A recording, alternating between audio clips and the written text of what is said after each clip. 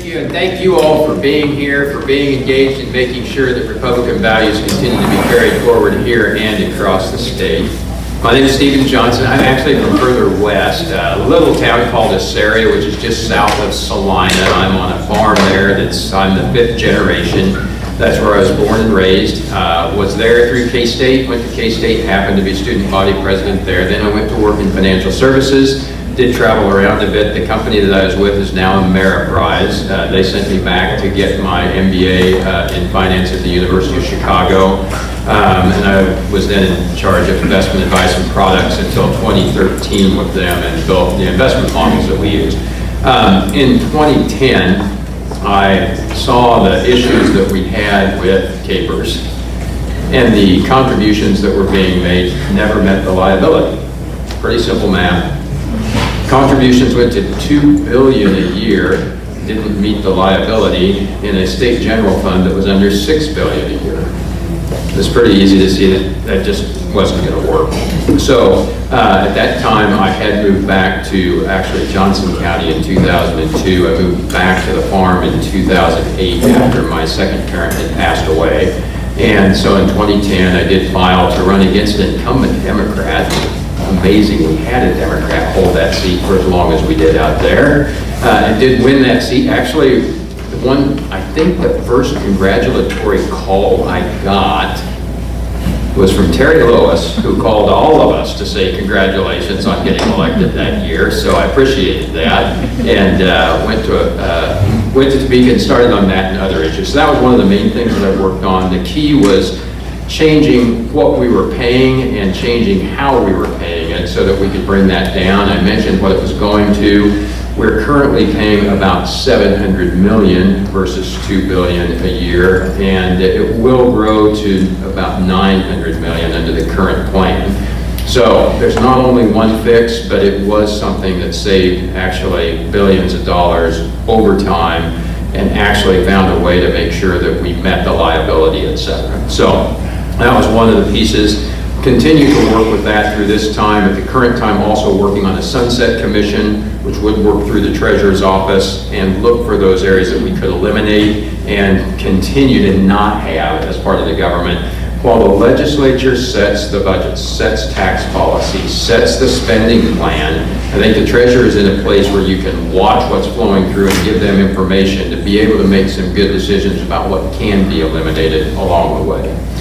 I have worked with the things that the treasurer does with the previous two treasurers. I was on their 529 or Learning Quest Advisory Board since 2011 to look at those plans, how that works, how that serves the people of Kansas. One thing I'd like to look at is our expense ratio there. In other states that I have worked with on their 529 plans, I think we're high by maybe about 0.2%. I'd like to see if that could be changed lowered for the people who have those accounts and exactly where those dollars are going. I have some suspicions, but I want to make sure that the owners of those accounts are getting what they're paying for is one of the keys that is there. Um, within the KPERS board, that is the group that makes the investment decisions.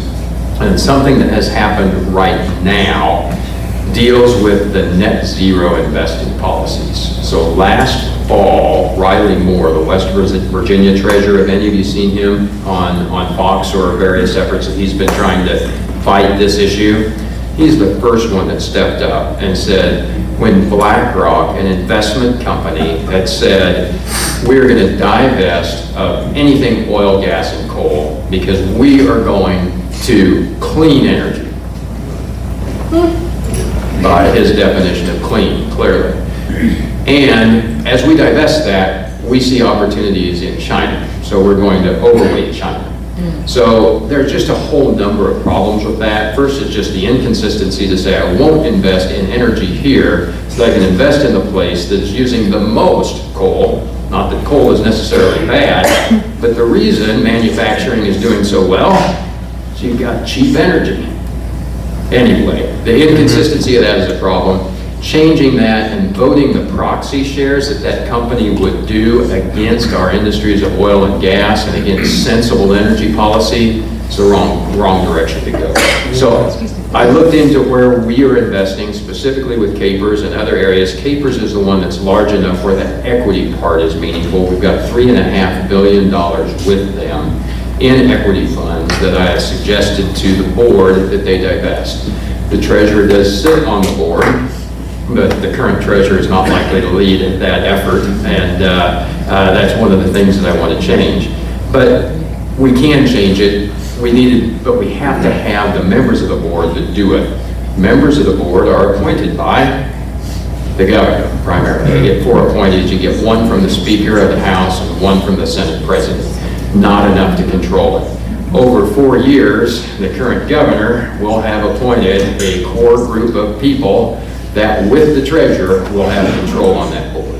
There are two reasons I did not want that to happen. I didn't know this one when I decided to run back in April, so I'll flash back to that. But this one is too critical. We're at a collision of the intersection of investing and environmental policy. Kansas needs to vote in a way that's consistent with Kansas values. So I've requested that the chair of the board, report, uh, appointed by the previous governor, look at divesting at least those equities in the March meeting. We can get that done by the March meeting, we'll get that changed before BlackRock has the chance in proxy season to be voting those shares against how we would want that handled. So that's one of the things I've really appreciated Riley Moore's leadership. I've appreciated talking with his office and staying in touch with them on what they are doing and I think Kansas needs to join the first 15 states that got on board with Riley and continue to lead that effort to say that's not the direction we're going as a country, but we're absolutely not going that direction here in Kansas. So that's one of the policy pieces that has come up that was critical.